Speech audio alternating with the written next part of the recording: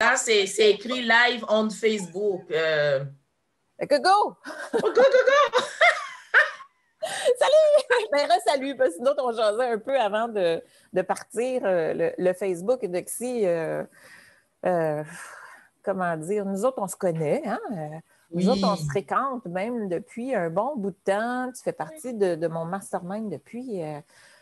mon Dieu, ça fait combien de temps, là? Ça doit faire deux ans. Trois ans maintenant. On s'en va pour notre quatrième année. Oh! Mm. C'est extraordinaire. C'est extraordinaire. J'adore l'aventure. Euh, on, est là depuis le, tout début. On se soutient. Euh, mm. très émotionnel comme, comme mastermind. C'est très féminin. Une énergie. Très humain. C'est très humain. Voilà. C'est très humain. Ouais, ouais. Aujourd'hui, tu es là pour une raison spéciale. Aujourd'hui, je t'ai demandé si tu voulais faire un direct avec moi afin justement qu'on t'apprenne à te connaître parce que tu es une des intervenantes du 7e ciel où tu as accepté de venir faire des interventions à travers le 7e ciel.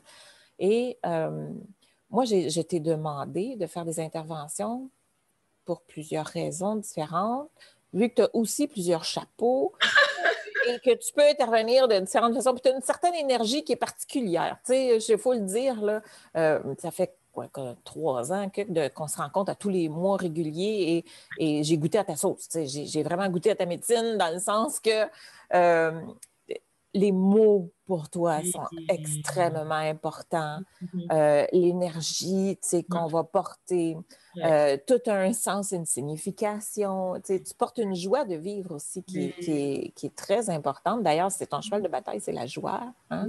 Dans le corps de la joie. Fait que ça, c'est pas mal ça. Euh, mm-hmm. je vais te laisser te présenter parce que, comme j'ai dit, tu as plusieurs chapeaux. Et après ça, on regardera dans quel axe que je t'ai demandé de venir intervenir dans le septième ciel vas-y, présente-toi, dis-nous qui tu es, qu'est-ce que tu fais, c'est quoi tout Oh my God! Merci beaucoup, Chantal. Merci à toutes les personnes qui sont en direct avec nous, pour celles qui vont écouter euh, cet entretien un peu plus tard. Alors, tu sais, le fameux qui es-tu? C'est profond, hein? Tu. Qui es tu? Ça tue? Non, qui es-tu? Mais qui es-tu? Pas dans le, dans le, dans le sens de tuer, mais qui es-tu dans le sens de qu'est-ce que tu fais sur cette magnifique planète? Qu'est-ce que tu es venu faire? Comment est-ce que tu voyages sur cette planète? C'est ça notre identité. Alors, puisque au niveau du mental, on a besoin de mettre ça de façon chronologique, fait qu'on va jouer son jeu. Alors, donc, je suis Eudoxie Adopo, je suis d'origine ivoirienne. Ok, La Côte d'Ivoire, c'est un pays d'Afrique de l'Ouest et je suis, j'ai décidé de venir m'installer au Québec parce que j'y ai passé huit années de ma vie d'étudiante et ça a été huit années pendant lesquelles j'ai découvert une partie de ce que je suis venue faire sur cette planète-là. Oui, je faisais des études à l'université, c'était des choses qui étaient très, très, très carrées. C'est l'université, c'est l'institution. Donc, quand on parle de mental, il n'y a pas un plus bel endroit que l'université. Et c'est là que, pendant ces années-là, j'étais loin de ma famille, donc j'étais seule, entre guillemets, puisque j'étais avec ma communauté étudiante. C'est là que j'ai déployé mes ailes. Donc, à un moment donné, dans mon histoire, j'ai éprouvé le besoin de revenir m'installer ici parce que c'est à partir d'ici que le fameux je suis une âme qui est venue expérimenter plein de choses, ça disait que c'était à partir d'ici que se rayonner la joie de vivre, se rayonner qui je suis véritablement va se faire mais à une condition, que ça, que ça soit simplement mon pôle d'atterrissage. Donc, à partir d'ici, que je puisse aller en Afrique pour pouvoir partager ok, ce message. Et le message, c'est quoi? Nous sommes parfaits, nous sommes uniques. Nous avons chaque, chacun, vous qui m'écoutez, vous êtes ici et vous faites la différence dans la vie de plusieurs personnes. Et vous faites la différence pour la planète. Donc, à partir d'ici, je vais en Côte d'Ivoire, je vais au Burkina Faso, je vais au Bénin. Et même, la vie a voulu que j'aille rencontrer les autochtones. Mm-hmm. Donc, je suis allée au lac Simon, je suis allée à Manitena. Vous voyez, c'est comme quelque part, qui je suis, ben, je suis vous. Je suis chacun d'entre vous. Et ici et maintenant, comment est-ce que je vous rencontre? Ben, je vous rencontre à travers votre relation à votre corps, avec ma casquette de kinésiologue. Comment est-ce que votre corps et vous, quelle est la relation que vous vivez? Et est-ce que cette relation vous donne de l'énergie? Est-ce que cette relation est enclin de paix? Est-ce que cette relation est joyeuse? Et est-ce que vous vous sentez libre dans cette relation? Vous pouvez le voir en arrière de moi, là. C'est exactement les destinations du quart de la joie. Et ma casquette, de professionnel en relation d'aide de la méthode Écoute ton corps, parce que dans mon cheminement, à un moment donné, c'était comme, oui, j'entraîne les gens, j'aide les gens, ils veulent avoir plus de muscles, ils veulent avoir plus d'énergie, je veux m'entraîner, fais-moi un programme et tout et tout. Et là, j'ai réalisé qu'il me manquait quelque chose parce qu'on était au niveau de la surface. Le coco, il disait, le corps qui est là, je ne l'aime pas comme ça. Eudoxie, aide-moi à le transformer pour que je l'aime. Et c'était tout le temps à refaire, à refaire, à refaire. Puis à un moment donné, je me suis dit, il manque quelque chose. Et j'ai découvert plus tard que ce qui manquait, c'était l'amour. Donc, quels, sont les messages que mon corps me donne et que je ne veux pas écouter et que mon mental a tellement pris le dessus que je veux, en fait, ce que je veux comme corps, c'est un corps social, socialement acceptable. Celui qui est dans le reflet, dans le miroir, va faire Ah, OK, ça, c'est acceptable, ça, c'est convenable, ça, j'aime ça.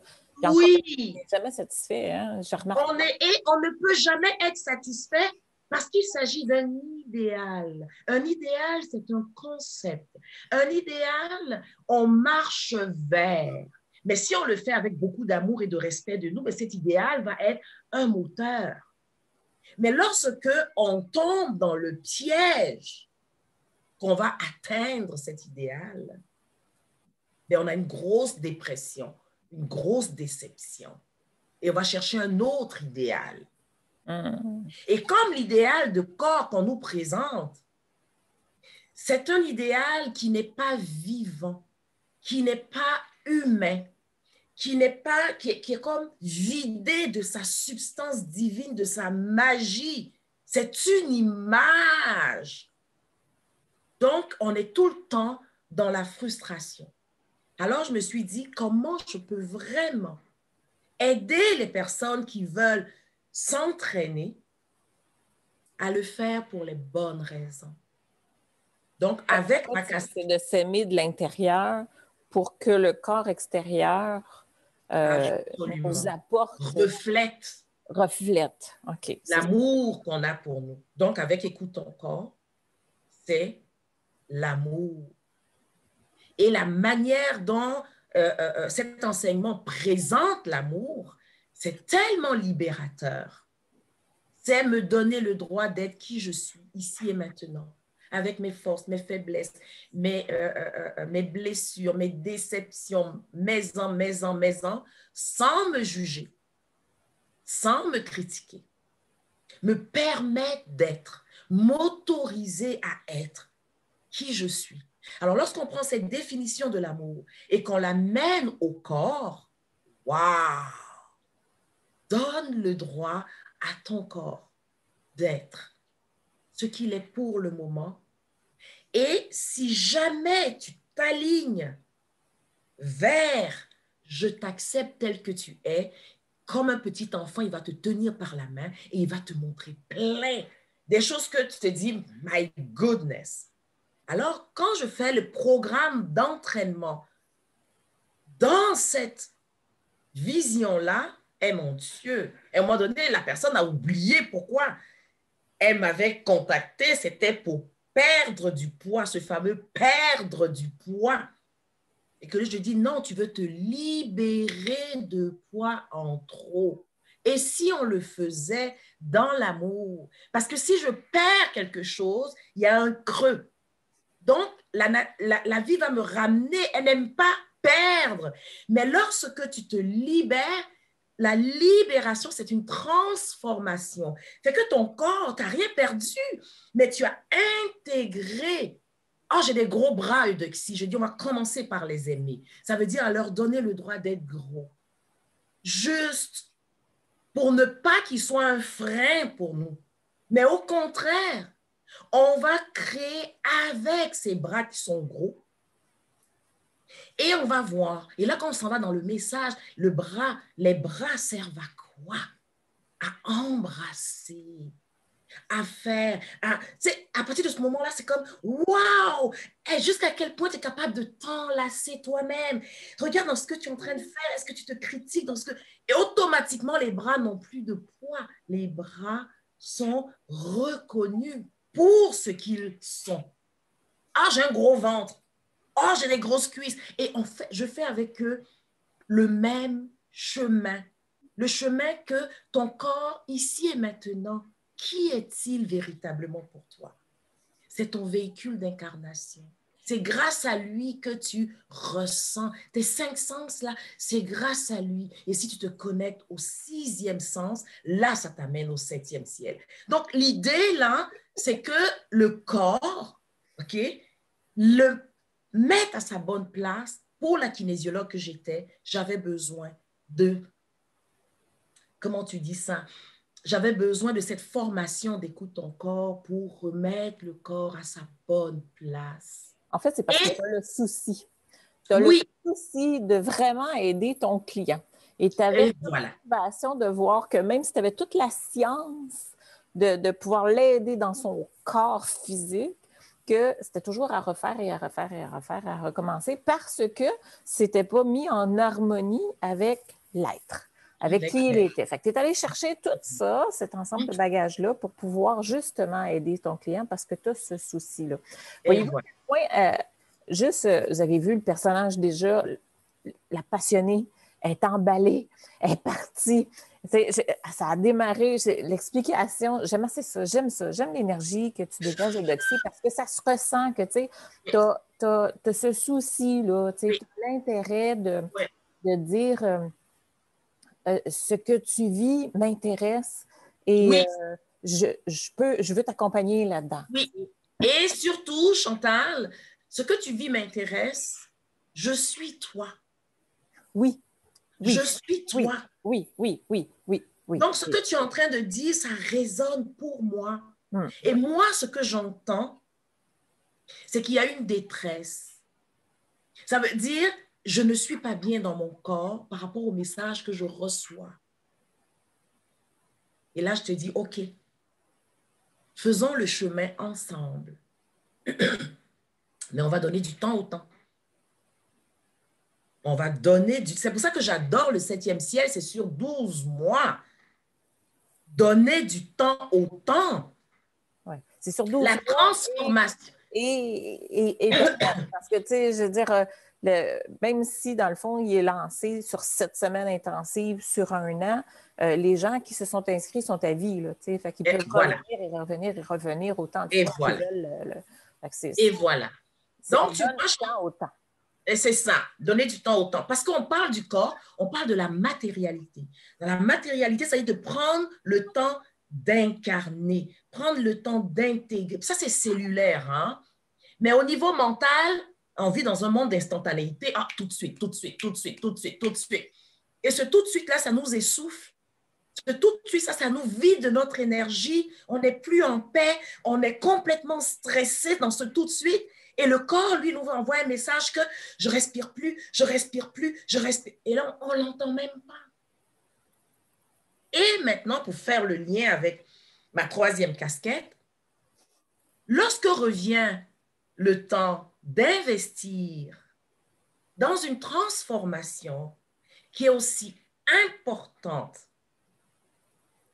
que d'augmenter mon énergie, que de nourrir ma paix intérieure, de connecter à ma joie et de me sentir libre dans toutes les facettes de ma vie, ben les gens disent qu'ils n'ont pas d'argent.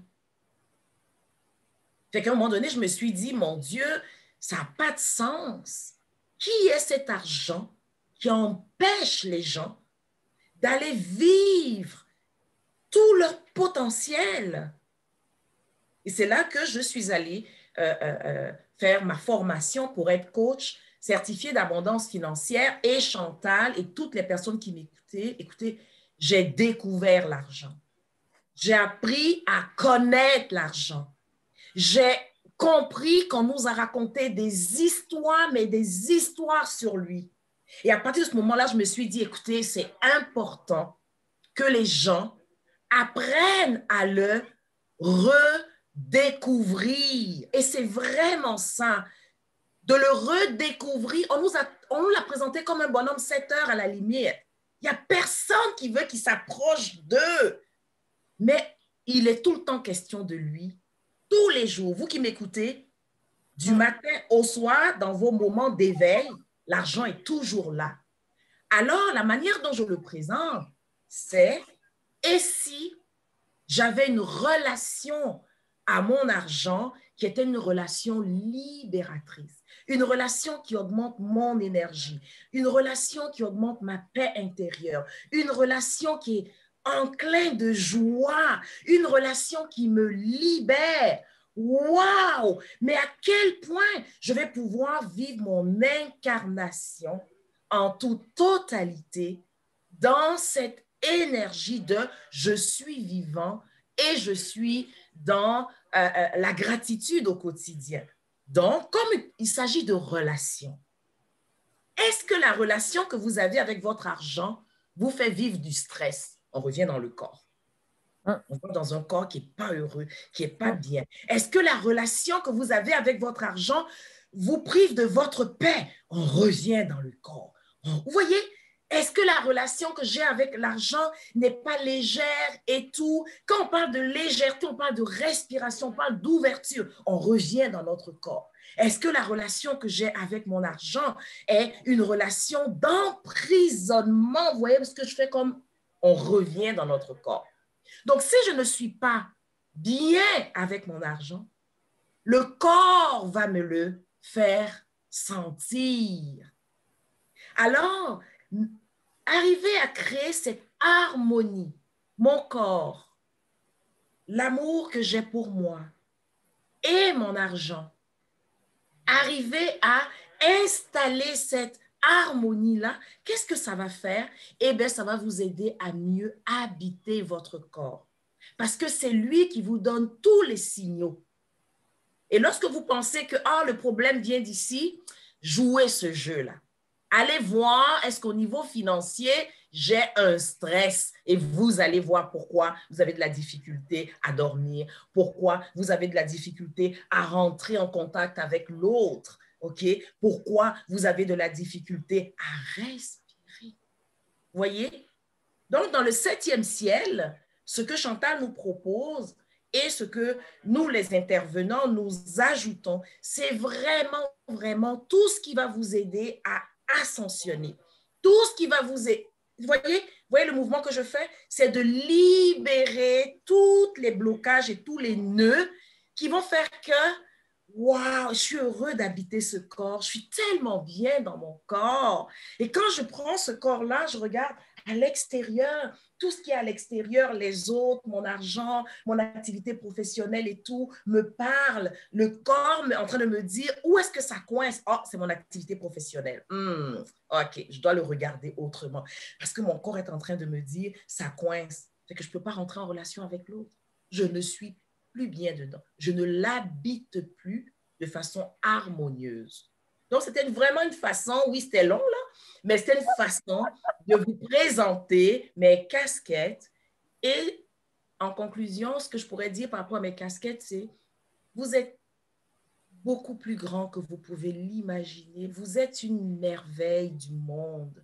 Allez dans le, euh, le mémorandum de Dieu de Ogmandino, la manière dont il décrit, il nous décrit là.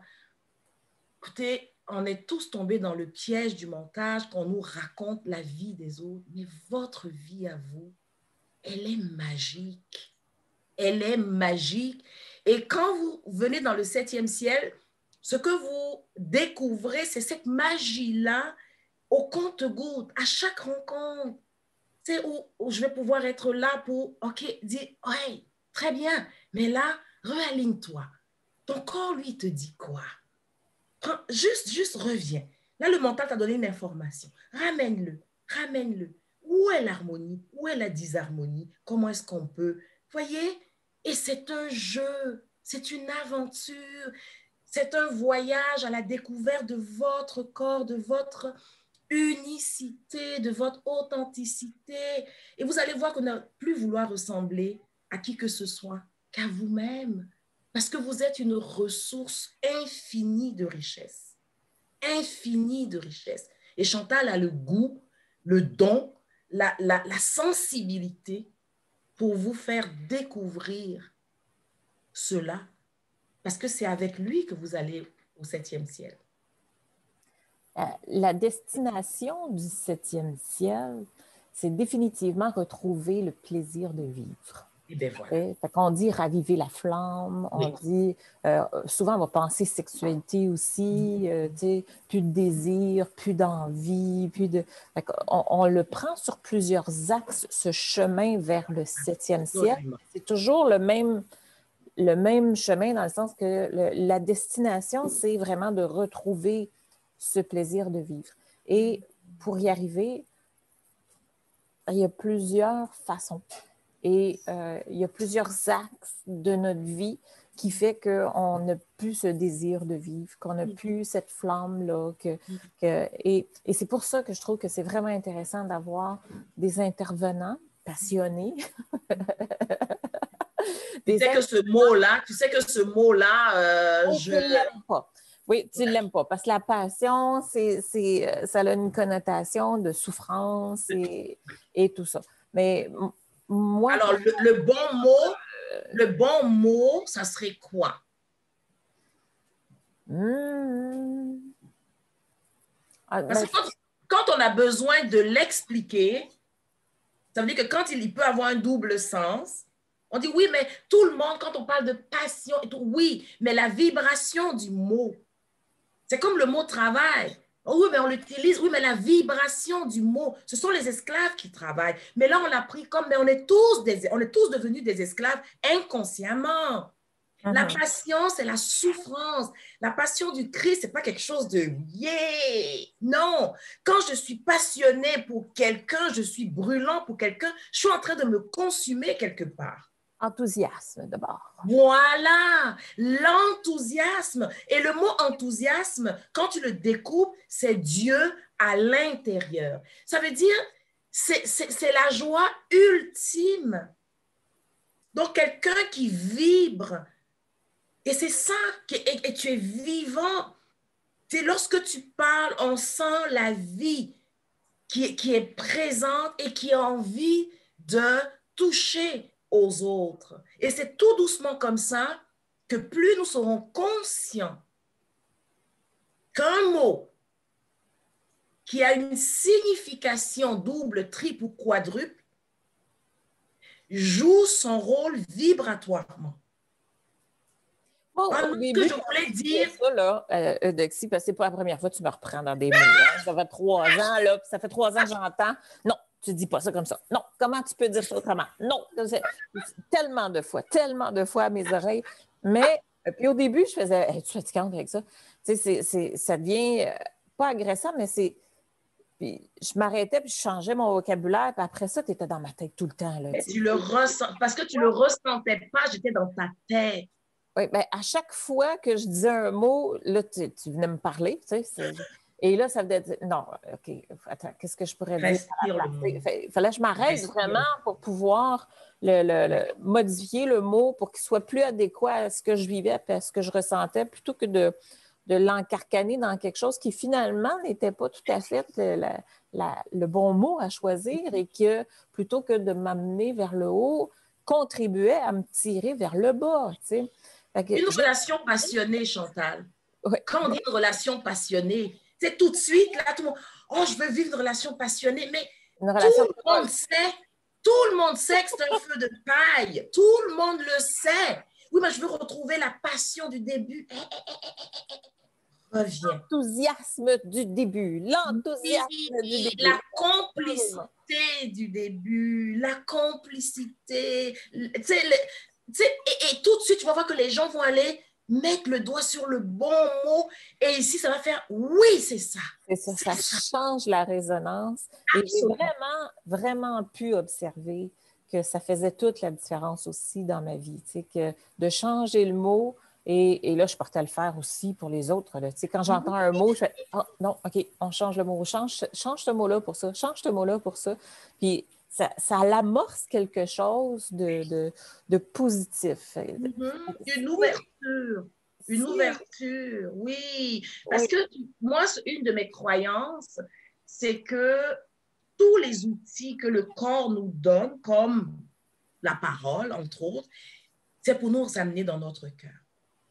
Tout. Mm-hmm. Tout ce que je fais, je dis, je pense, tout ce que c'est pour me ramener dans mon cœur. OK? Mais on a notre histoire. On a notre histoire. On a l'histoire que la société nous impose, parce que c'est imposé. On pense qu'on nous l'offre, mais non, c'est imposé parce que quand c'est répété, répété, répété, répété, à un moment donné, ça devient, euh, tu sais, c'est... Hum. Donc, là, on goûte pas mal de ce temps-ci, de cette histoire. Exactement. Là. Hum. Il y a cette histoire-là. Mais quelle est mon histoire? Quelle est mon histoire avec mon corps? Quelle est mon Malgré l'histoire qu'on nous impose à l'extérieur, je peux moi-même retrouver mon plaisir de vivre, ma joie de vivre. Et ça, c'est tout à fait, tout à fait. C'est la vraie liberté. Voilà. C'est la vraie liberté. Trouver Et c'est ça le septième ciel. C'est ça. Quelle que soit la porte par laquelle vous allez rentrer, oui. Chantal va vous amener à vous. Et toi? Et toi? Qu'en dis-tu? Oui, mais, oui, mais, j'ai entendu, j'ai entendu. Alors, si tu disais oui et, ça serait quoi? C'est ça qu'elle vous amène à, à, découvrir. En fait, c'est redécouvrir qui vous êtes à travers, oui, vos sens, parce que vous êtes incarné, mais surtout, surtout, surtout, en partant de votre cœur, de l'amour que vous avez pour vous. Et elle vous amène tout doucement, tout doucement, de façon très délicate. Et vous allez vous entendre parler. Et à un moment donné, vous allez dire, oh my God. Vous voyez? Et c'est ça la magie. La magie de, euh, de l'amour, de la compassion, de la gratitude, de la bienveillance. Le septième ciel, c'est ça. exactement ça. Mm. Et puisque euh, il y a plusieurs intervenants différents et que chacun a son énergie. Oui. Chacun a son bagage euh, qu'il porte euh, d'enthousiasme. le mot. Oui, de rayonnement, oui. De rayonnement. Le tien, toi, de la façon que tu viens intervenir dans le septième ciel, tu sais que moi, je privilégie toujours, d'abord et avant tout, pas l'expérience. Pas, nécessairement venir donner une formation, tout monter, euh, puis de dire, OK, aujourd'hui, on parle de ça, puis, puis on...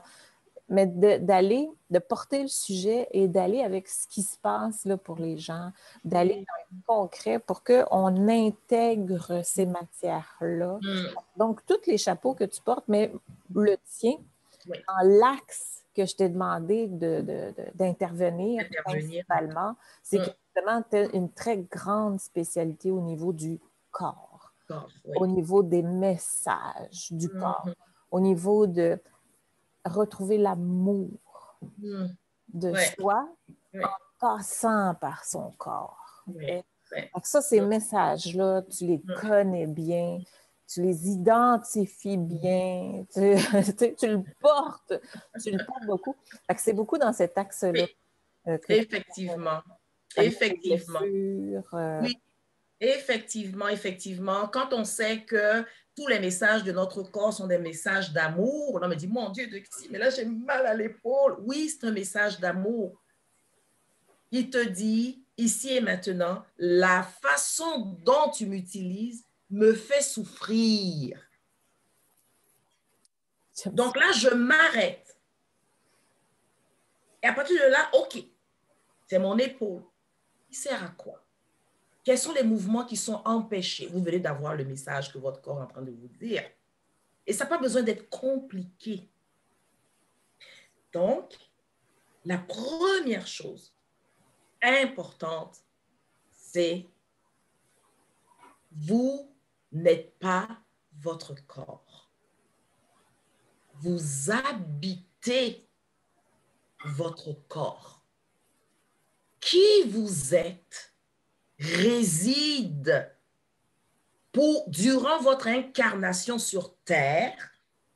Qui vous êtes habite un corps. Et votre corps représente une fine partie, infime partie de vous. Mais lorsqu'on est incarné, il représente mon véhicule d'incarnation. Alors, pour toutes les personnes qui écoutent ceci, ma première question c'est, est-ce que vous aimez votre corps? Est-ce que vous lui donnez le droit d'avoir la forme qu'il a? le poids qu'il a ici et maintenant? Je ne vous demande pas votre opinion par rapport au message culturel, social et toute la patente. Je vous demande simplement ici. Et vous le traitez comment?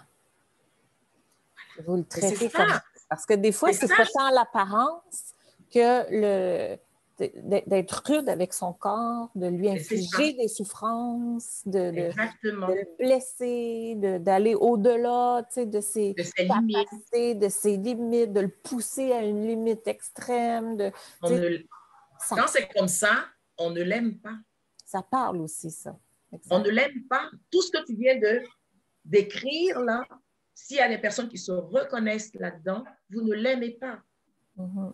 Est-ce que vous aimez votre corps? Est-ce que vous le respectez? La nourriture. que je mange aussi, c'est ça. C'est ça, la nourriture que vous ingérez. Est-ce que vous écoutez les signaux de votre corps? Le corps est tellement magique. Aujourd'hui, pour la majorité des gens qui m'écoutent, ne mangent pas parce qu'ils ont faim. Ils mangent parce qu'il est l'heure. Ils mangent parce que, oh, si jamais je ne mange pas, euh, je n'aurai pas le temps d'eux. Et puis, ils mangent avec leur tête. Mais quand tu manges avec ta tête, mais ton corps te le dit. Il te le dit. C'est-à-dire, à un moment donné, tes signaux de faim, de satiété sont au, au nul. Donc là, ce que tu vas faire, c'est que tu te remplis au lieu de déguster. Le corps, il est là pour ça.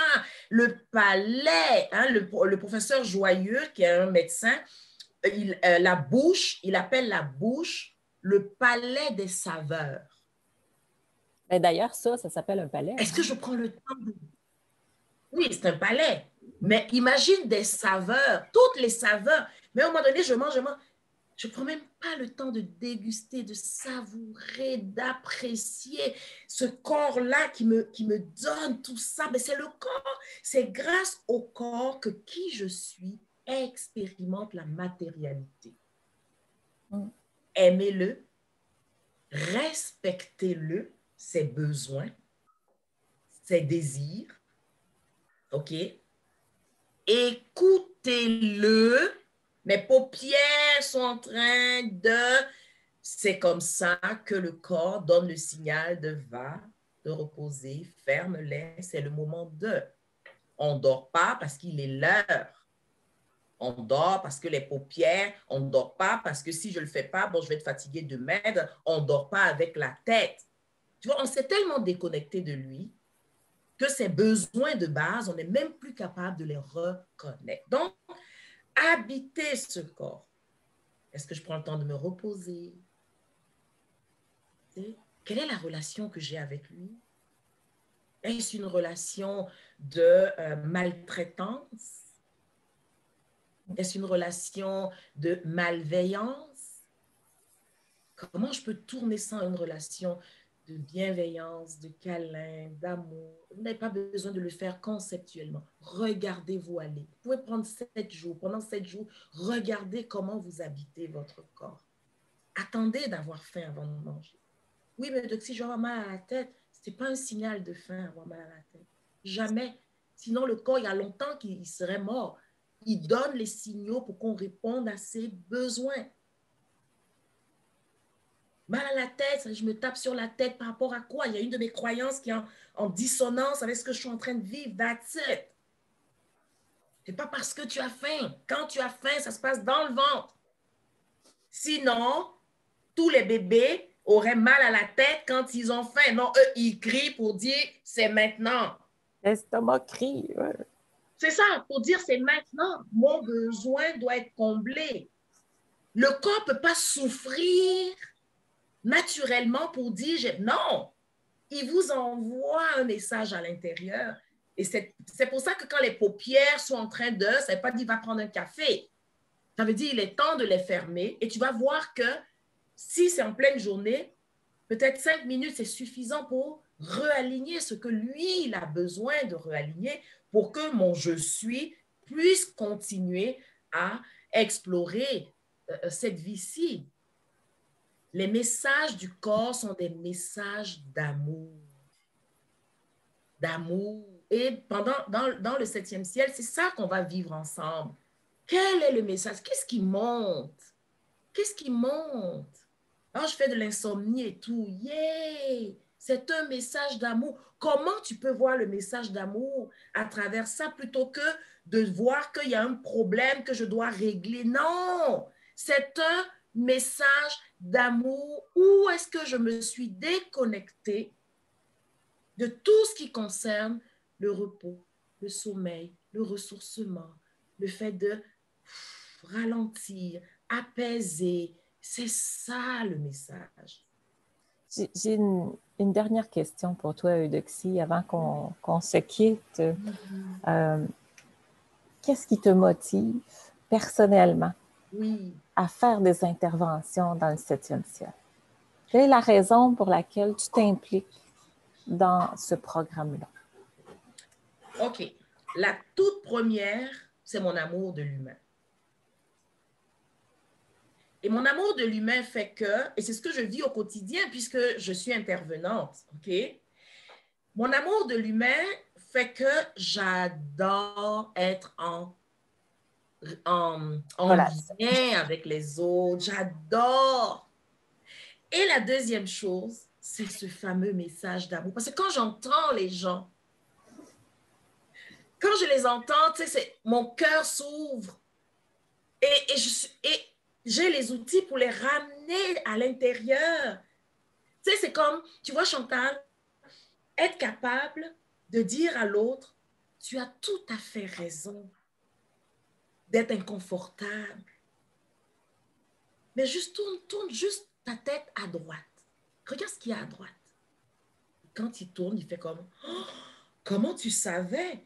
Oui, mais je ne suis pas à l'intérieur, moi, je suis à l'extérieur. Et quand je t'entends, j'ai des réponses. Tu vois? Donc, c'est le fait de co-créer avec ces gens-là. C'est le fait de, de vivre cette magie commune de transformation. C'est cette curiosité de, et c'est toujours ça, moi je dis toujours à mon âme, hein, où est-ce que tu veux que j'aille jouer? Et dans le 7e siècle, quand j'arrive et que je, vois toutes ces personnes qui, dit, qui ont fait le choix de faire plus de, passer plus de temps dans leur cœur, pour moi, là, c'est comme, waouh, quel cadeau. C'est un cadeau que je me fais, Chantal. C'est vraiment un cadeau. Je me reconnais dans chacun des participants. Je me reconnais parce que c'est comme si j'ai fait le pas. Je les vois, puis je dis, OK, ça, je l'ai fait. Sache que non seulement tu peux le faire, mais tu vas réussir. Tu vas réussir parce que le chemin, il est un. J'aurais envie d'ajouter quelque chose que tu as dit aussi. Euh, c'est que avec chaque interaction humaine, ça, ça nous ramène à nous. Dans le sens que l'énergie que l'autre vit présentement, c'est Ah, merci pour le message. Qu'est-ce que j'ai observé de moi dans ça? Et, ça, c'est tout le temps. À chaque fois qu'on se rencontre, tu, tu, arrives avec ce commentaire-là. Euh, tu remercies la fin de la rencontre. Tu dis euh, merci, merci. Je vais observer euh, qu'est-ce que moi j'ai à à, faire, à grandir, à être dans cette énergie-là pour moi. Merci de me permettre d'observer ça. Merci de me... et, et, ça nous fait prendre conscience qu'on est tellement, mais tellement interconnectés. C'est ce qui fait la force du groupe aussi. Hein. Oui. Quand on, on, on, interagit à travers un groupe avec une personne, que la personne vit ça s'adresse à tout le monde, c'est interposable pour tout le monde et chacun va chercher sa nourriture à travers ça. C'est tellement puissant. Tout le monde le dit. Tous les témoignages jusqu'à présent euh, l'ont mentionné. La force du groupe. Même si on a peur souvent. C'est ça, parce que nous sommes des êtres de relation d'abord et avant tout. Nous sommes, et ça, la retenez-le, nous sommes des êtres de relation. Et la relation que nous avons avec les autres, c'est la relation que nous avons avec nous-mêmes. On le sait conceptuellement et dans le septième ciel, on l'intègre, on le vit, on le pratique. L'autre me parle de moi, l'autre me parle de moi, l'autre est fâché après moi, je suis fâché après moi. Qu'est-ce qui me reproche? C'est ce que je me reproche. Ok, j'ai compris. Mais maintenant, qu'est-ce que je fais avec ça? Comment je peux au quotidien, concrètement, aller ouvrir mes bras, me regarder aller, observer la partie qui me reproche ceci, cela, cela. C'est quelle voix? Elle vient d'où? Mettre de l'amour là-dessus. Pas chercher à ouais, c'est ma mec.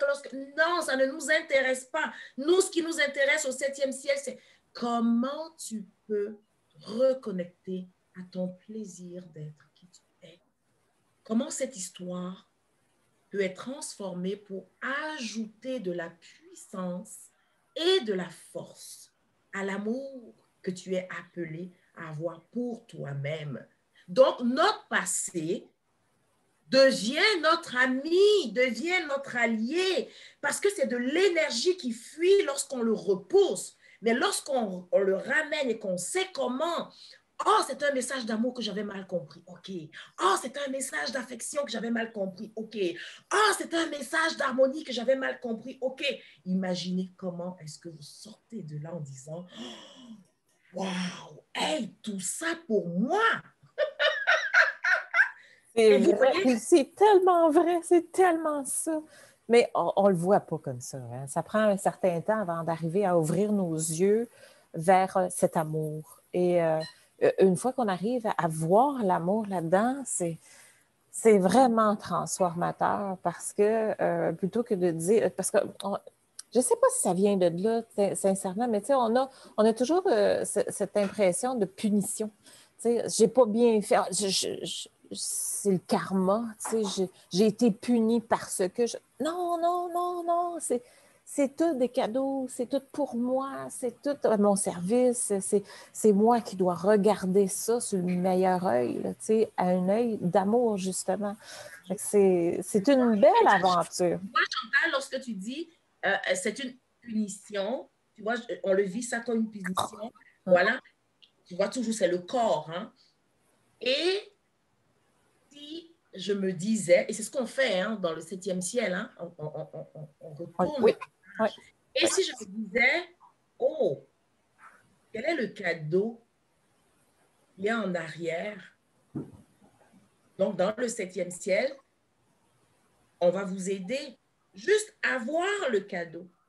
Donc, on vous aide à développer votre capacité d'être observateur, d'être témoin de ce qui s'est passé. Ce n'est plus moi, je le vois à l'extérieur. Et maintenant que je le vois à l'extérieur, si je j'étais l'avocat des deux, pow, vous êtes ailleurs complètement. Il n'y a pas un coupable, il n'y a pas un gars. Et si tous les deux parlaient d'amour, mais il n'y avait pas le bon langage, c'est pour cela que le témoin que vous êtes, vous allez créer une autre histoire. Vous allez voir comment, oh my God, oh mon Dieu, l'amour qu'il y avait dedans. C'est parce que ma mère voulait que je sois une bonne jeune fille. Oh, elle s'y est mal prise. Waouh!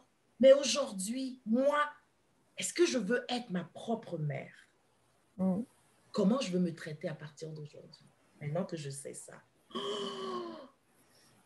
c'est la magie de la vie.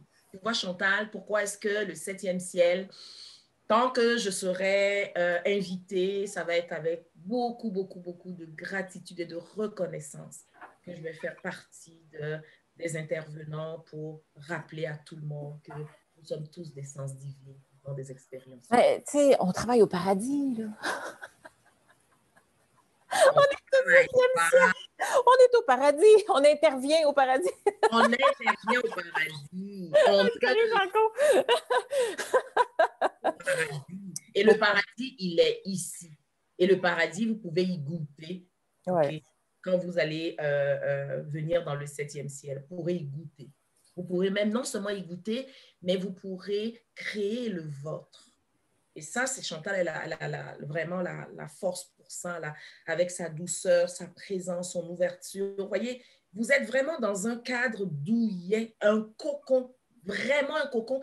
Et même si vous voulez vous, vous, vous battre, vous pouvez, mais c'est tellement cotonneux qu'à un moment donné, vous faites comme, bon, j'ai l'air fou, hein? OK, très bien. OK, on revient. Au lieu de taper. De tout casser. Et si j'ouvrais? Et si j'ouvre, qui je vais prendre dans mes bras en premier? Moi-même. Et lorsque je me prends dans mes bras et que je me berce, qu'est-ce que je me dis? Je t'aime tel que tu es. Et qu'importe la souffrance que vous portez, mm. qu'importe la blessure, qu'importe les traces que votre vécu, votre passé, votre enfance a pu laisser, qu'importe la profondeur de la souffrance qui est présente, l'amour est toujours caché à l'intérieur. Toujours. Reste à y accéder. Yes, reste à y trouver. Qu'importe, comme dirait Eudoxie, la porte d'entrée par laquelle vous voulez passer au septième ciel, vous allez trouver votre chemin parce que c'est le même chemin, c'est le chemin du cœur. C'est retrouver le plaisir de vivre, c'est se retrouver, c'est se reconnecter à soi. Et pour ça, ben, il y a plusieurs champs, il y a plusieurs interactions, il y a plusieurs moyens d'y arriver, il y a plusieurs énergies différentes. C'est pour ça que je vous présente plusieurs intervenants différents, plusieurs énergies différentes, plusieurs axes à laquelle, parce que des fois, ça prend le déclic, mais là, on est comme...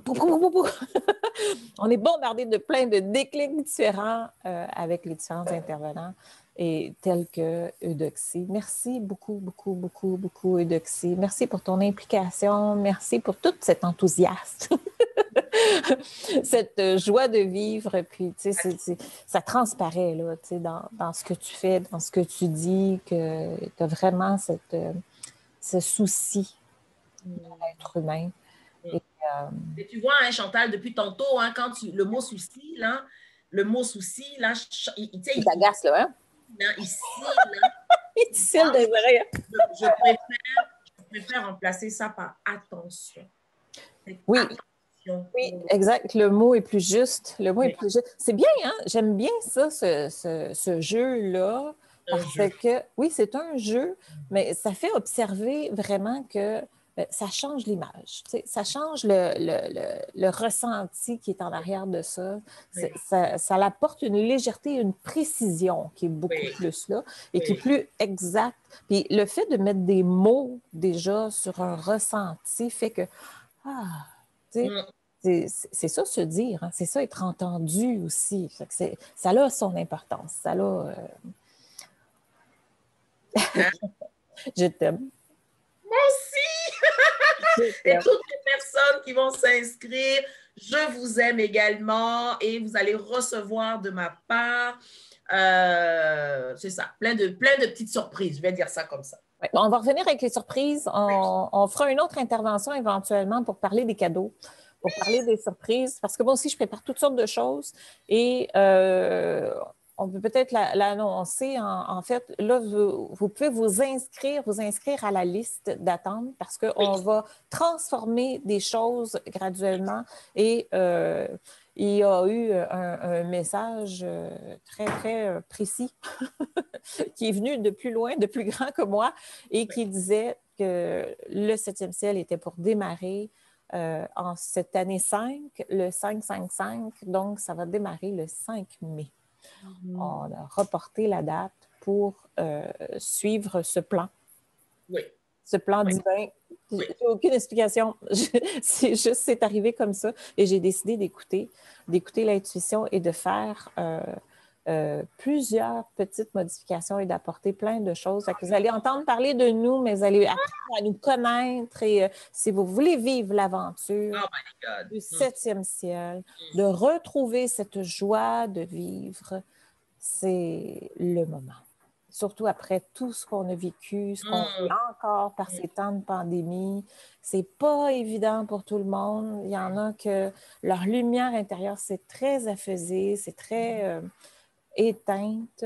Ben, ça serait le temps de venir chercher de la lumière. Et il y en a. Énormément. Il y en a. Elle est là, la lumière. Il faut juste changer le focus, arrêter de regarder la noirceur pour se tourner vers la lumière. Et, on va vous y aider. Et on va vous y aider. Merci. Merci. Merci, Eudoxie. On se reparle, on se revoit bientôt. Je vous embrasse, tout le monde. Bye. À la prochaine. Bye bye.